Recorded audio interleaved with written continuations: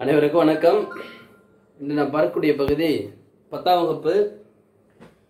பத்தாம் வகுப்புல இயல் ஐந்து பார்க்குறோம். இப்போ இந்த இலக்கணத்தோட இயல் ஐந்து உங்களுக்கு முடிஞ்சிடும் சரி வினா விடை வகைகள் தான் இன்னைக்கு நம்ம பார்க்க போறோம். வினா எத்தனை வகைப்படும்? ஆறு வகைப்படும்.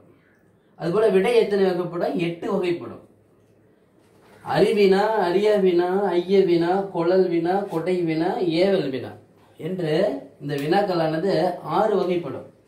இப்போ பொதுவாகவே வினா விடை இப்படி நினைவில் வச்சுக்கிட்டீங்கன்னா ஆறு எட்டு என்று நினைவில் வைத்துக் கொள்ளலாம். சரியா?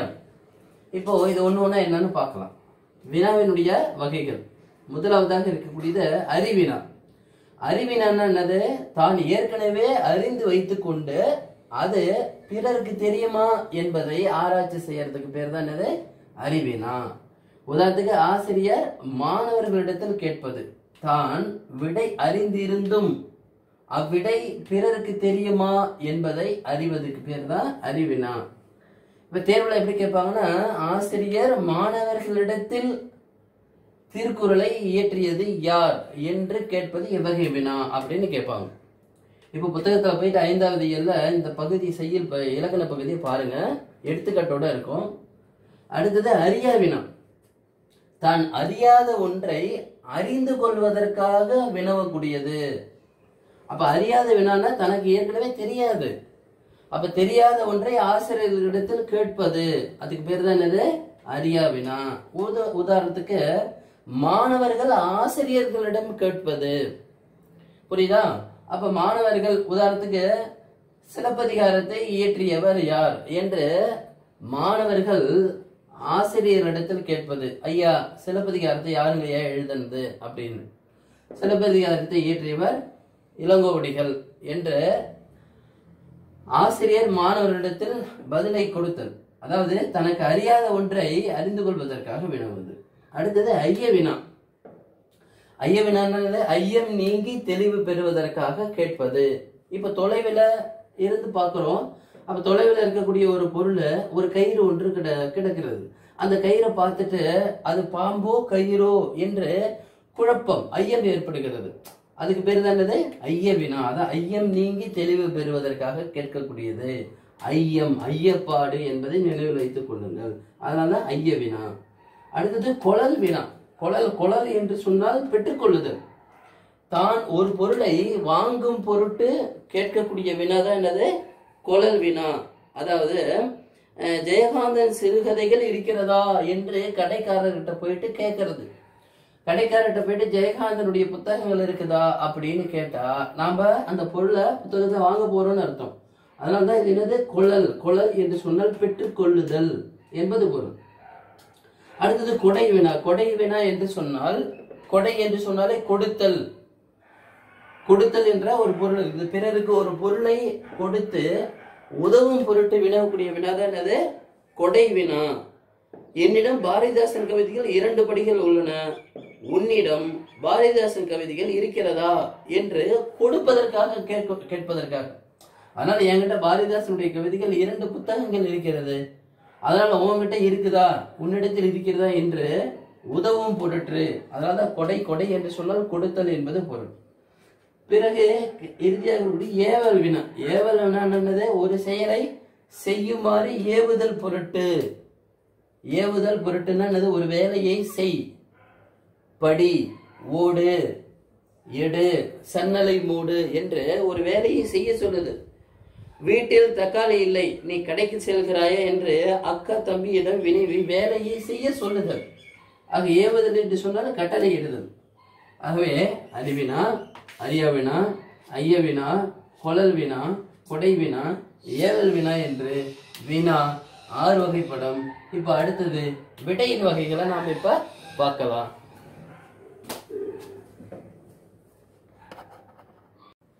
இப்ப இது வரைக்கும் வினாவினுடைய வகைகளை பார்த்தோம். வினாக்கள் மொத்தம் ஆறு வகைப்படும் இப்போ விடைகளுடைய வகைகளை பார்க்கணும் விடைகள் மொத்தம் எட்டு வகைப்படும் அப்ப விடைகள் மொ- மொத்தம் எட்டு வகைகள்ல என்னென்ன விடைகள் அப்படின்னு பார்த்தீங்கன்னா ஒன்னொன்னா இப்ப நம்ம பார்க்கலாம். முதலாவதாக சுட்டு விடை. சுட்டு விடைனா என்னது? சுட்டி கூறும் விடை. சுட்டி கூறும் விடைனா என்னது? கடைத்தெரு எங்குள்ளது? இப்போ யாராவது வழி கேட்குறாங்க சென்னைக்கு வழியாது கடைத்தெரு எங்கு உள்ளது வலப்பக்கத்தில் உள்ளது. இது போல சுட்டி கூறுதல். இதெல்லாம் என்னது? சுட்டி கூறும் விடை. அடுத்தது மலை விடை. ஒன்றை மறுத்து சொல்றது. அதுக்கு பேர் தான் என்னது? மறுத்து கூறக்கூடிய விடைக்கு பேர் தான் என்னது? மறை விடை. மறை விடைனா மறைமுகமா சொல்றது கிடையாது. மறுத்து கூறக்கூடிய விடை. அதாவது கடைக்கு போவாயா? நான் போக மாட்டேன். என்று இதனை மறுத்து சொல்வதற்கு பேர் தான் என்னது? மறை விடை. அடுத்தது நேர் விடை. உடன்பட்டு கூறும் விடை. அதாவது உடன்பட்டு கூறக்கூடிய விடைக்கு பேர் தான் என்னது? நேர் விடை.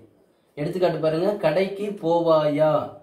போவேன் என்று உடன்பட்டு கூறுதல். இப்போ வினா எப்படி கேட்பாங்கன்னா உடன்பட்டு கூறும் விடை எது? கொடுத்துருவாங்க.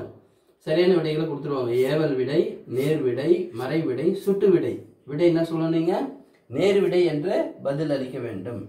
அப்ப நேர் விடைனா உடன்பட்டு கூறும் விடை. கடைக்கு போவாயா? போவேன் என்று உடன்பட்டு கூறக்கூடிய விடை. அடுத்தது பார்த்தீங்கன்னா ஏவல் விடை.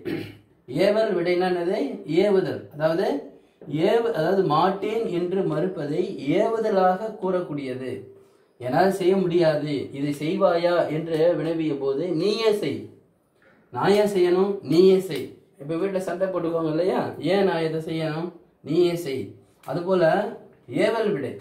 இதை செய்வாயா என்று வினவிய போது நீயே அதனை செய் என்று மறுத்து சொல்லக்கூடிய விடை. இப்ப கேட்பாங்க எப்படி கேட்பாங்க? மறுத்து கூறக்கூடிய விடை எது என்று கேட்டால் ஏவல் விடை. உடன்பட்டு கூறும் விடை எது என்று கேட்டால் நேர் விடை. அடுத்தது அதாவது இது இதுவும் மறுத்தல் தான். இப்போ மறை மறை விடைக்கும் ஏவல் விடைக்கும் என்ன வித்தியாசம்? இந்த இடத்துல மறுத்து கூறும் விடை. இங்கே மறுப்பதை ஏவுதலாக கூறுதல். இது இதுக்கு வித்தியாசத்தை தெரிஞ்சுங்க. மறுப்பதை ஏவுதலாக கூறக்கூடியது ஏவல் விடை. மறுத்து கூறுவது நேரடியாக மறுத்து கூறுவது மறைவிடு. அடுத்தது வினா எதிர் வினாதல். ஒரு வினாவை கேட்டா ஒரு வினாவை கேட்டா வினாவிற்கு விடையாக மற்றொரு வினாவை கேட்பது. ஒரு வினாவை அவங்க கேட்டாங்கன்னா மறுபடியும் வேறொரு வினாவை விடையாக கேட்பது. எடுத்துக்காட்டு என்னுடன் ஊருக்கு வருவாயா? என்று கேட்டவுடன் வராமல் இருப்பேனா? என்று விடையை கூறுதல். என்னுடன் ஊருக்கு வருவாயா என்று கேட்டால் நான் வராம இருப்பேனா? நானும் தான் வருவேன். நானும் தான் சேர்ந்து வருவேன் என்று விடையாக கூறுவதற்கு பேர் தான் வினா எதிர் வினாதல் விடை. வினா எதிர் வினாதல் விடை எனப்படும். அடுத்தது உற்றது உரைத்தல் விடை. அதாவது வினாவிற்கு விடையாக ஏற்கனவே நேர்ந்ததை கூறுதல். ஏற்கனவே இதுக்கு முன்னாடி நடந்தது. விளையாட்டு திடல்ல ஒரு மாணவன் விளையாடாமல் அமர்ந்திருக்கிறான். அப்போ மற்றொரு மாணவன் போய் கேட்கிறான் நீ விளையாடவில்லையா? என்று கேட்கிறான். கால் வலிக்கிறது. ஏன்னா எனக்கு ஏற்கனவே கால் வலிச்சுக்கிட்டு இருக்குது. அதனால என்னால் என்ன பண்ண முடியாது? விளையாட வர முடியாது. அதனால நீ விளையாடவில்லையா? என்று கேட்பதற்கு கால் வலிக்கிறது என்று கூறுவது ஊற்றது உரைத்தல் விடையாகும். ஆகவே இப்போ அடுத்தது இரண்டு வகைகளை பார்க்குறோம். சுட்டு மறை நேர் ஏவல் வினா எதிர்வினாதல் உற்றது உரைத்தல் இந்த வகைகள். அடுத்தது நாம் பார்க்கக்கூடியது உருவது கூறல் விடை. இப்ப அடுத்தது நாம் பார்ப்போம். அடுத்தது உருவது கூறல் விடை. உருவது கூறல் அதுக்கு முன்னாடி என்ன பார்த்தோம்? உற்றது உரைத்தல் பார்த்தோம். உற்றது உரைத்தலுக்கும் உருவது கூறலுக்கும் ஒரு சின்ன வித்தியாசம். உற்றது உரைத்தல் என்பது இறந்த காலத்தை சொல்லக்கூடியது. உருவது கூறல் என்பது எதிர்காலத்தை சொல்லக்கூடியது. இப்போ உதாரணத்துக்கு பாத்தீங்கன்னா வினாவிற்கு விடையாக இனிமேல் நேர்வதை கூறக்கூடியது. இனிமேல் இதற்கு பிறபா இதற்கு பிறகு நேரக்கூடியதை கூறுவதற்கு பேர் தான் இது உருவது கூறல். நீ விளையாடவில்லையா என்ற வினாவிற்கு கால் வலிக்கும் என்று கூறுவது உருவது கூறல். புரியுதா? அடுத்தது இப்ப இந்த உற்றது உரைத்தலுக்கு இது பாருங்க. நீ விளையாடவில்லையா என்ற கேள்வி கால் வலிக்கிறது என்று சொல்வது உற்றது உரைத்தல். கால் வலிக்கும் என்று கூறுவது என்னது இனிமேல் அது எதிர்காலத்தில் நடக்கக்கூடியது கூறுவது பேர் தான் என்னது? உற்றது உருவது கூறல் விடை. அடுத்தது இனமொழி. இனமொழி என்பது வினாவிற்கு விடையாக இனமான மற்றொன்றை விடையாக கூறுதல். மற்ற அதாவது உனக்கு ஆட தெரியுமா அப்படின்னு கே- என்று கேட்டால் எனக்கு பாடவும் தெரியும் என்று இனமான ஒன்றை கூறுவதற்கு பேர் தான் என்னது? இனமொழி. இங்க பாருங்க கவிதை எழுத தெரியுமா? கட்டுரையும் எழுத தெரியும் என்று இனமான ஒன்றை கூறுதல். எனவே விடை எட்டு வகையாக பிரிக்கப்படுகிறது. சுட்டு மறை நேர் ஏவல் வினாயதர் வினாதல் உற்றது உரைத்தல் உருவது கூறல் இனமொழி என்று எட்டு வகைப்படும். இங்க பாருங்க விடை எட்டு வகைப்படும். அந்த விடை எட்டு வகையில இது இரண்டு வகையாக பிரிக்கப்படுகிறது. எப்படி பிரிக்கிறாங்க? சுட்டு மறை நேர் இதெல்லாம் வெளிப்படையாக விடையை சொல்றதால இது வெளிப்படை விடை. மீதமுள்ள ஐந்து இருக்குது இல்லையா? இது இந்த ஐந்தும் குறிப்பு விடை. ஆகவே விடை மொத்தம் எட்டு வகைப்படும். அந்த எட்டு வகை இரண்டு வகையாக பிரிக்கப்படுகிறது. ஒன்று வெளிப்படை விடை மற்றொன்று குறிப்பு விடை. இங்க பாத்தீங்க இது மூன்றுமே வெளிப்படை. மீதமுள்ள ஐந்தும் குறிப்பு. ஆகவே வினா எத்தனை வகைப்படும்? அறிவினா அரிய வினா ஐய வினா கொழல் வினா கொடை வினா ஏவல் வினா. சுருக்கமா எப்படி சொல்லலாம்? அரி அரியா ஐய கொழல் கொடை ஏவல். அரி அரியா ஐய கொழல் கொடை ஏவல் என்று வினா ஆறு வகைப்படும் விடை சுட்டுமறை நேர் ஏவல் வினா எதிர் வினாதல் உற்றது உரைத்தல் உருவது கூறல் இனமடி என்று. விடை எட்டு வகைப்படும். வினா ஆறு வகைப்படும். விடை எட்டு வகைப்படும். இது இரண்டு வகையாக பிரிக்கப்படுகிறது. எல்லாத்துக்கையும் நீங்க எடுத்துக்காட்டு தெரிஞ்சு வச்சுக்கிங்க. உங்கள்கிட்ட வினா எப்படி கேட்பாங்கன்னா வினாவிற்கு விடையாக இனமான மற்றொன்றை விடையாக கூறும் விடை என்ன என்று கேட்பார்கள். அல்லது எடுத்துக்காட்டு கொடுத்துருவாங்க கவிதை எழுத தெரியுமா? கட்டுரை எழுத தெரியும். கட்டுரையும் எழுத தெரியும். இது எவ்வகையான விடை என்றும் கேட்பார்கள். ஆக கேட்கக்கூடிய வினாக்களுக்கு சரியான விடையை நீங்கள் அறியுங்கள் நன்றி.